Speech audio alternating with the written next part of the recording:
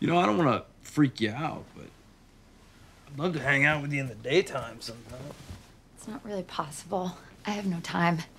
I work 80 hours a week doing 36 hour shifts. What I need is someone who's gonna be in my bed at 2 a.m. who I don't have to lie to or eat breakfast with. I hate breakfast.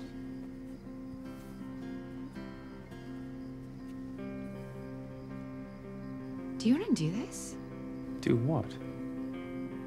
Use each other for sex at all hours of the day and night. Nothing else. Yeah, I could do that. Good. It's gonna be fun.